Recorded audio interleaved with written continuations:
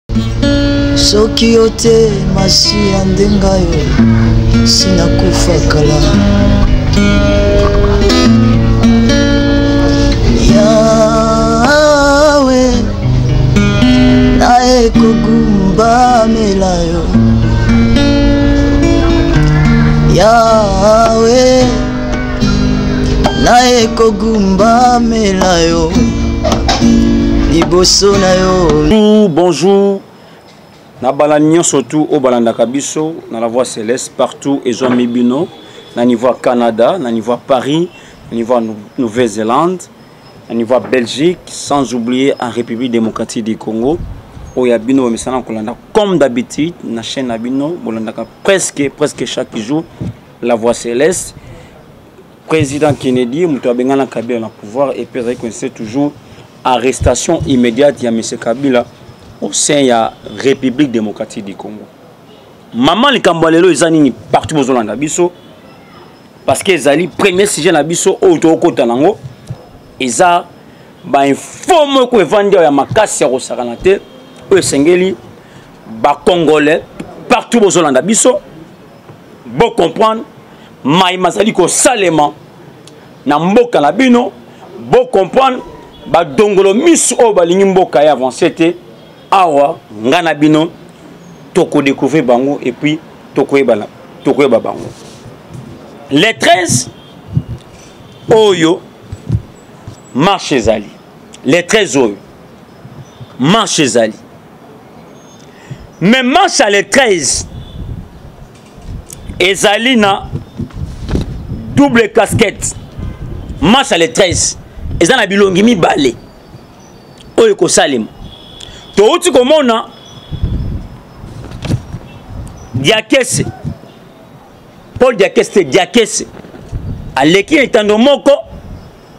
alobi non balingi komona bacouleur ba, ba, ba, ba ya badrapo ya, ya baparti politiki te or na préparation oyo bazo prépare catholique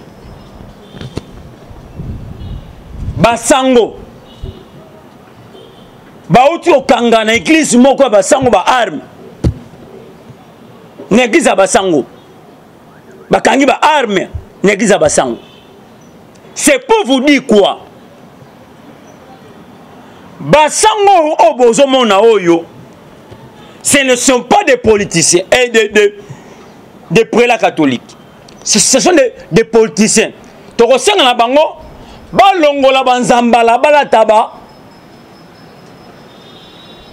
baveste marche ya le 13 eza marche moko très suspect nayebi bien marche ya le 13 eza marche moko très suspect basango basombi baarme me basango bakobima nzela baarme wana te bakoutilize bato awa yango wana oyebisa daya na service ya renseignement service ya sécurité ya mboka boyeba déjà ke na chaque église catholique bokota bokontrole baeglise catholique nyonso meme bakouva ya basango wana bokontrole yango là je vous dis bokontrole meme bakouva ya basango bato wana baza bato moko vraiment dangereux bakangi ba arme na eglise catholique baarme wana basango basombi mpo na nini bandeko nasengi botuna basango baarme basombi mpo na nini mpo baboma nani na mboka oyo eske basali na nzambe bakozala bamanduki eske basali na nzambe bakonegose baarme service ya mboka oyo le 13 eza dangereux c'est le grand yango oyo okanisaka no basango babimi na voie normale nzoka bautilize bato mpo bacree guerre na capitale eza mpasi bozala éveille service ya renseignement bozala éveille makasi na mboka oyo bozala éveille makasi na mboka oyo service ya renseignement touti komona bacomplot oyo esalemi meme na arrive mokonzi ya mboka meme na arrive chef de l'état bakangi un terroriste na salo présidentiel coup d'état arate contre chef de l'état na arrivé na un aéroport balobi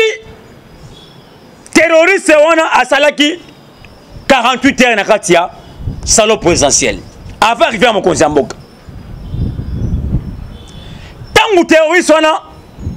azali na kati ya salon présidentiel je me demande service service ipesi ya mboka oyo bozalaki wapi service ipesi ya mboka oyo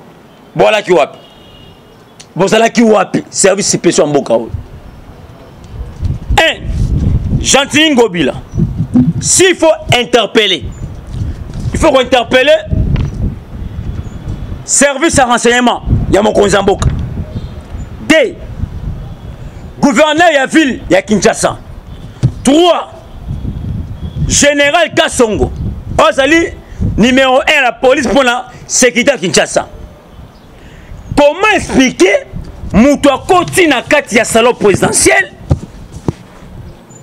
bino boyebi te epuis mosala boosala général kasongo na gentini ngobila mosala wana eza ya nini bino service spécial chef de l'état bafutaka bino mpo na kosekize mokonzi ya mboka mais ce n'est pas le cas oyo tozomona lelo na, na congo bakangi un terroriste na aéroport un rwandais mais bapesi ye teni ya la police croyant que non azali policier ya congo or c'est un rwandais mais balati ye teni ya, ya la police ya mboka na biso ça c'est quel pays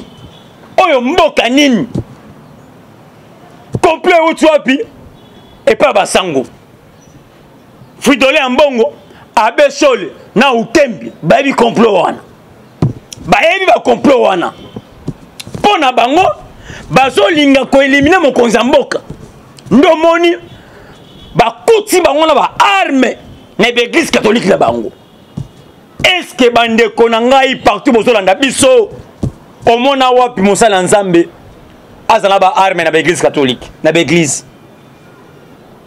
est ce que mosala na nzambe akozala na arme mosala na nzambe akozala na baarme na ndako non bandeko tosengi na basango bayeba bien bayeba bien ke non soki le 13 mabe ekomi na mboka oyo bayeba ke non peuple congolais deja ayebi makambo bazosala na manduki oyo basombi na place manduki euti toyebi deja me toyebisi bino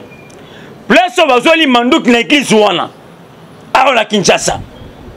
mpe tozali koyebisa bino boye boye place oyo bosombelaki baarme wana nazali kotinda service ya renseignement kende na couvent bacouvent tu ya kinshasa meme ya baprovince partout na baeglise nyonso ya kinshasa meme ya province bocontrole bokokuta so baarme eza mosusu kuna ebele bokokuta mpe ebele ya baarme mosusu parce que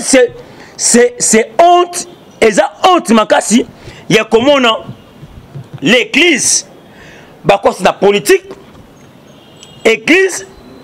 elingi esala rebellion eglise enge emema masasi na mboka eglise ekoti manduki na mboka pour que ba renverser régime ça c'est c'est quelque chose que biso na mboka oyo tokondima yango te lokola basango bokoti na monde ya guerre ya politique lokola basango bolingi bolingi bolingi bosala rebellion na mboka tondimi mais tosengi na bino bolongola sutani bolata baveste bokota bazamba ndenge laurent dese kabila akota zamba loko ba posa ya pouvoir coup d'état bokota zamba mais peuple congo déjà boyi coup d'état na mboka oyo peuple alingi nse maponami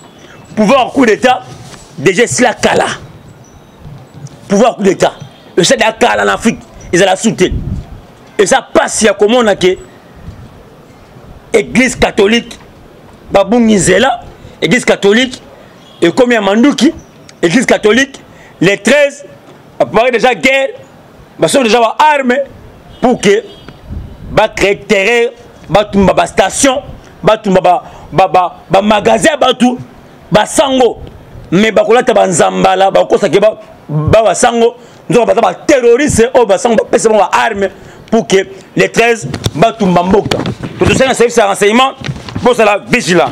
deuxième sujet ntango nayebisaka bino bandeko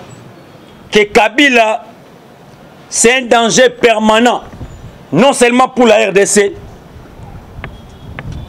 et mpo na monde mobimba pourkui alobi yango mokolo kabila baokanga ye la je vous dis mokolo kabila baokanga ye na mboka oyo pe à 100 pourcent ekoti carrément je vous dis pe à 100 pourcent ekoti carrément bakuti kabila na fruit du sud na ba azarias rubewa une affaire à 5 personnes comme ça na réunion baosala réunion comment ya kofinance opposition ya kosomba bango baarme barenverse régime tala degre tala degre makambo kabila na kati ya réunion na afrique du sud basala ba planning na bango tozomona bafayulu bazoloba bato nyonso ozoka bazoloba est ce que un congolais peut accepter que kabila autilize ye atia bamoyen en jeu asomba baarme arme bango bakota zamba pour que barenverse régime je ne crois pas je ne crois pas ce congolais la oyo to bacongolais wana oyo bakondima makambo ya ndenge ya boye nandimi yango te nga mpena personnellement nandimi yango ata moke te personnellement nga mpenza nandimi yango te mais awa na mboka oyo les congolais sont baza facile ya komanipule to baza facile ya, ya, ya bieveille makambo oyo esama na mboko na réunion na bango oyo basali mpo na kabila alobi kleke no tomeki ya kotante chef de l'état esimbi te mais awa sikoyo faut ekoutilize bacongolais koutilize bacongolais il faut som moko ya likolo bakotyela bango bamoyen ya jeu oyo eke na bamarche oyo eke na baarme do jeu bazwo nde yango wana to tosengi na bacongolais mboka toyaka na mboka moko mboka eza ya biso nyonso jamais étranger akoki koya koimpose yo ke non bapesa yo mbongo otrahi nation non soki biso bacongolais tolingani à 100%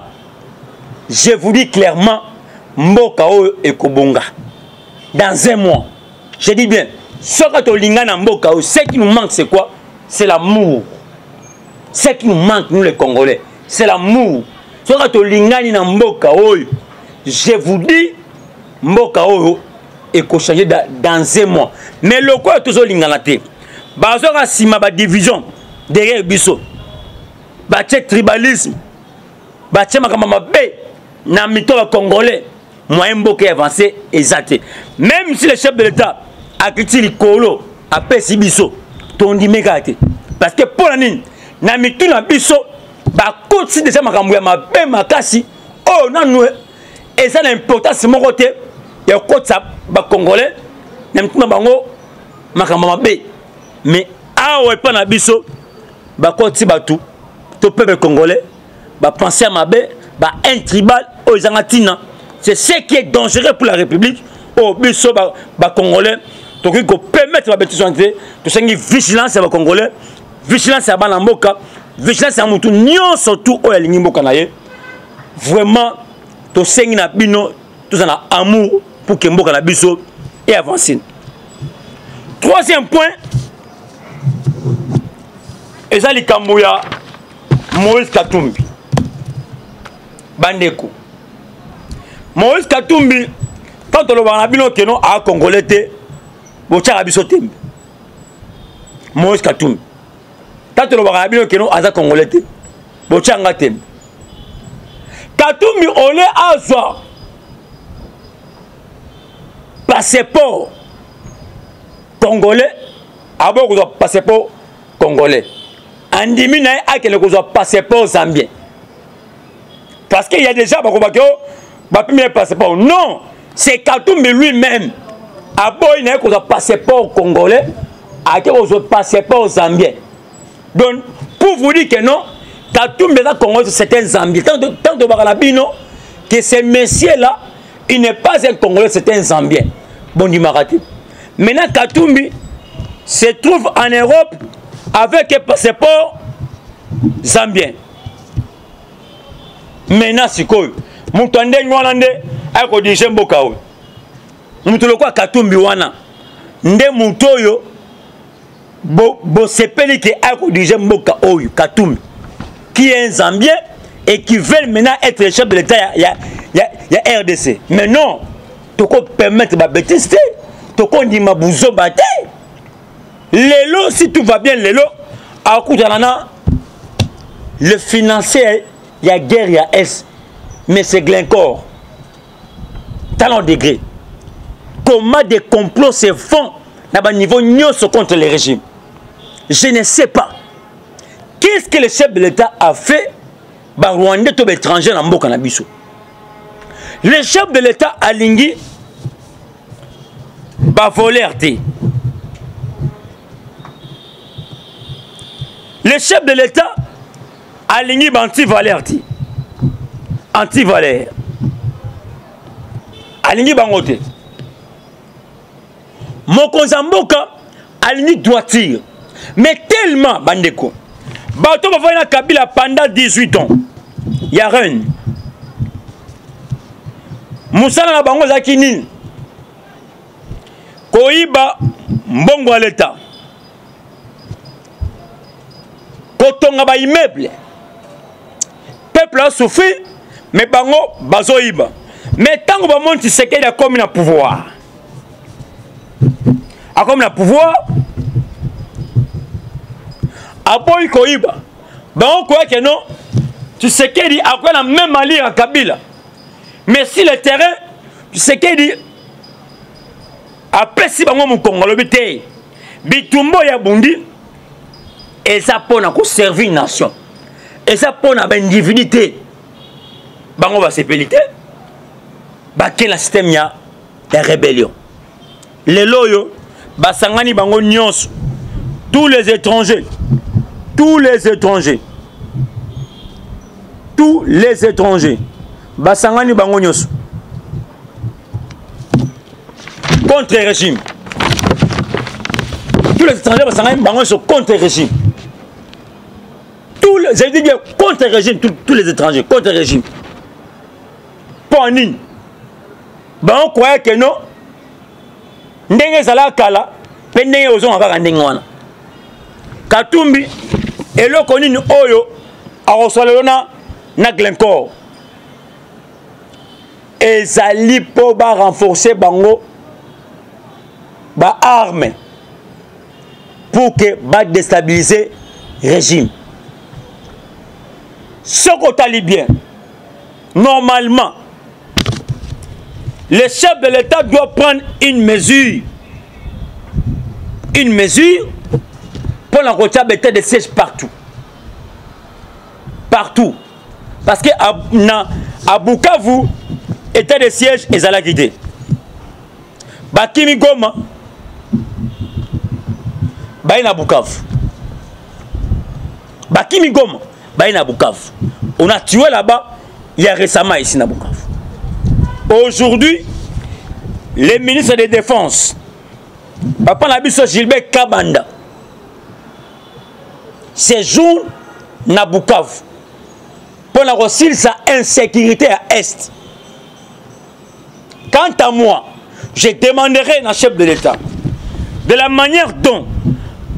azwaki état de siège atiaki état de siège na goma même manière mpe atia yango mpe na bukavu pourquoi je le dis les deux kivu wana bozomona wana nord na sud eza bazone oyo mingi oyo wapi richesse evandi tro ya, ya mboka na biso epuis ezali bapays oyo e baprovince ba oyo barwandais to mundele atyaka miso na ye par rapport ya barichesse na biso tosengi na chef de l'état oyo azali garant de la nation le commandant supreme des forces armées congolaises atya sécurité kuna état de siège gouverneur azala militaire pour que buzoba esila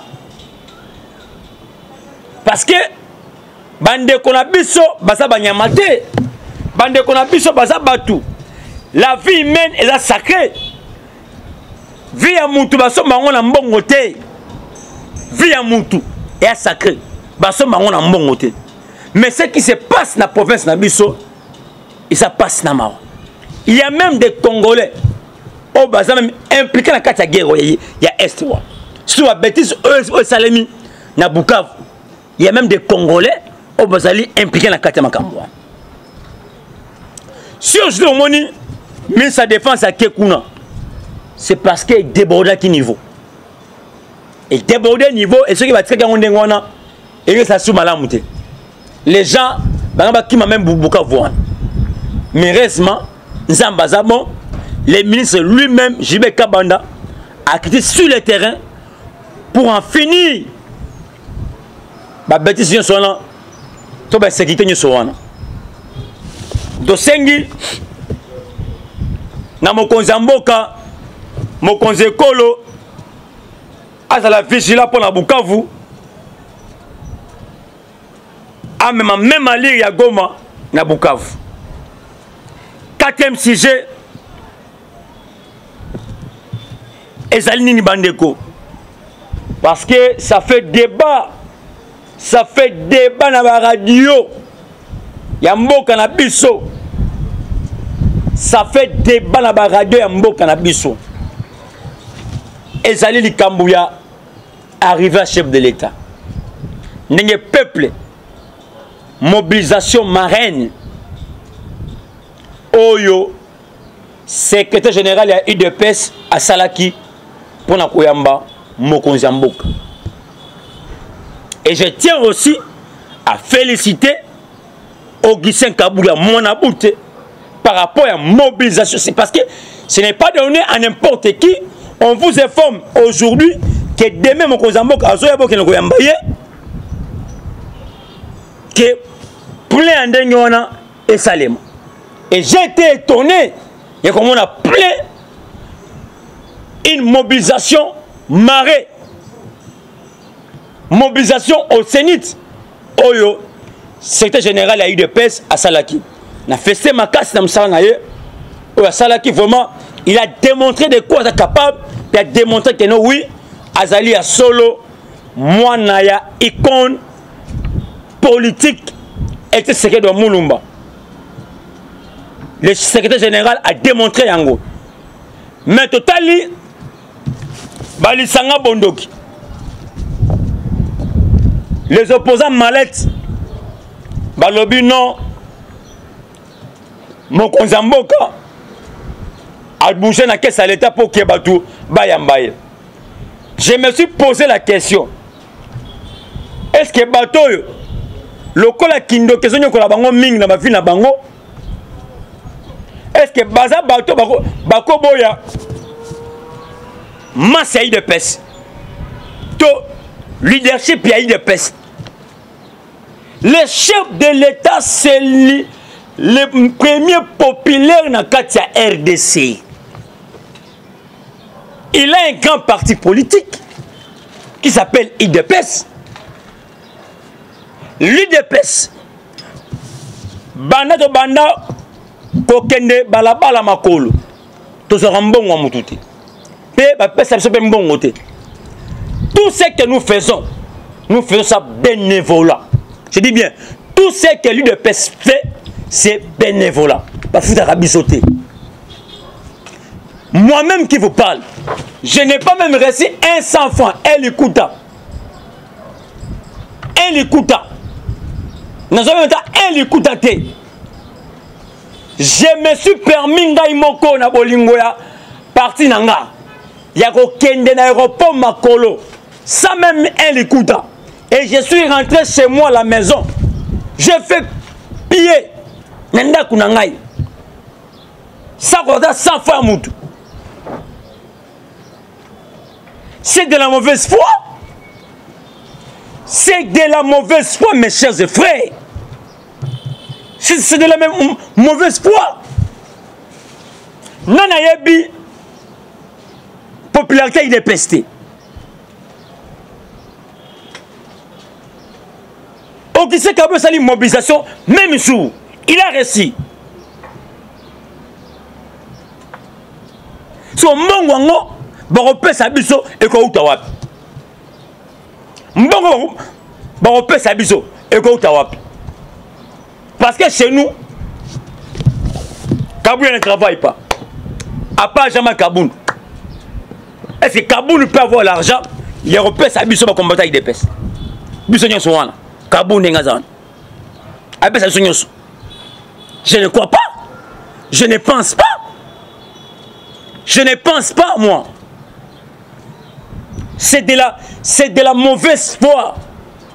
eza méchanceté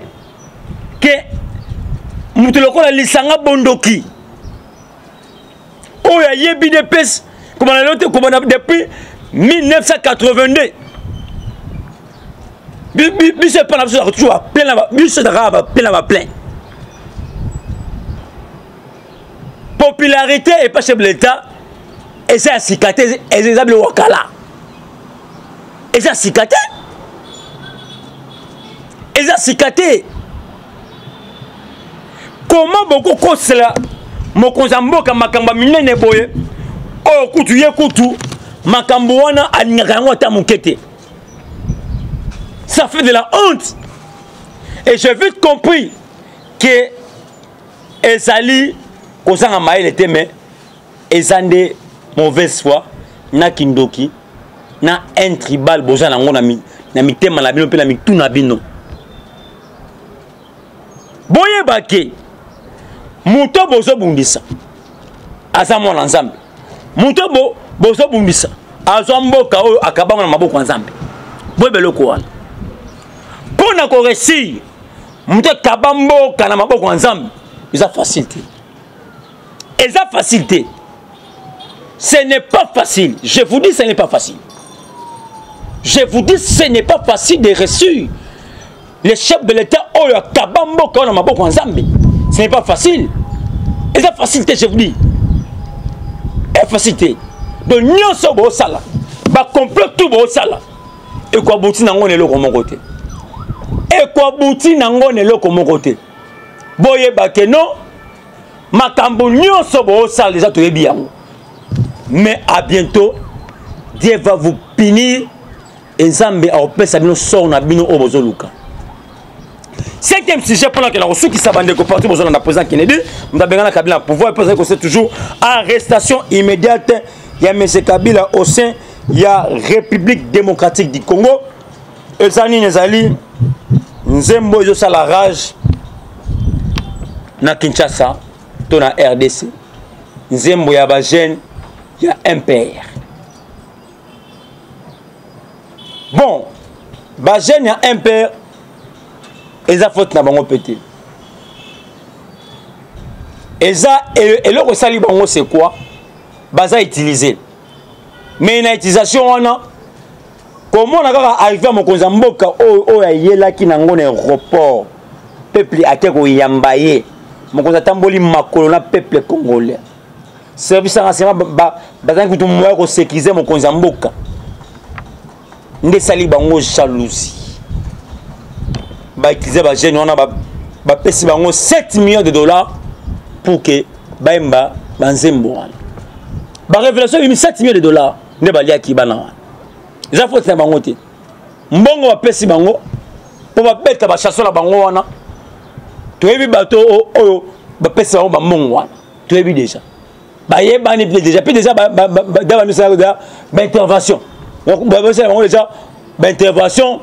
tout consort toyebi déjà mais tosengi na bango bazala kimia le chef de l'état doit faire de bonnes choses epuis kala mingi te mboka ekoavanse kitoko tosengi na bacombatant combatant nyonso ya idps vendredi tozala na permanence journée de la base oyo ekozala anime na secrétaire général ya idps augustin kabuya na jama kabunda kabun tozala wana na kati ya permanence ya idps présent sur le terrain napesi mbote na ngai na augustin kabuya mwana bute et puis euh, na mauvais game na paris na madame napesi mbote ebele epuis na antibal oyo apermettre ngai susu naleka na kati ya la voix céleste na plateau na ye napesi bambote ebele et puis na la réserve de l'idps kala mingi te azomata mpe awa kala mingi te et puis napesi mpe équipe mobimba ya la voix céleste bambote bambote bambote bambote bomisabone massivement partout ozolanda biso si le, si le plan international apesi bambote ebele numéro ya whatsapp plus 243 85 11 72 341 plus, plus 243